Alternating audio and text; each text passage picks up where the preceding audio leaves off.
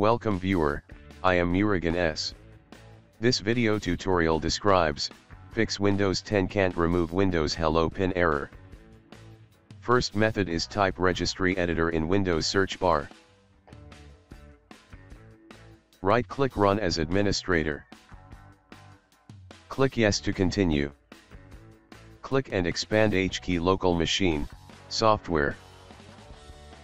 Click and expand Microsoft.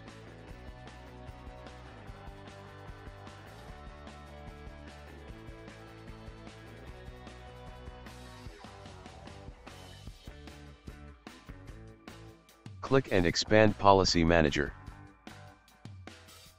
Click and expand Default.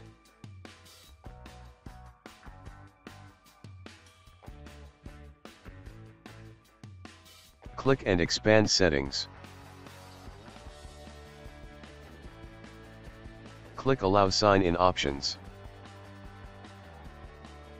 Change value Value data is 0, click OK and exit Registry Editor.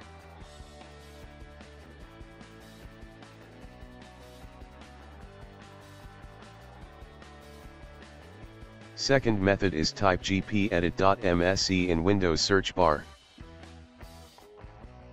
Click gpedit.msc. Click and expand Administrative Templates.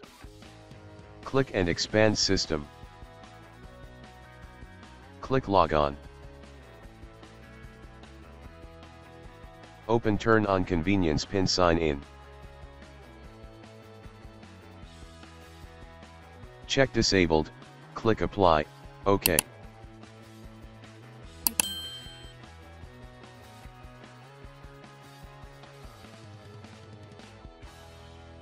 Restart system.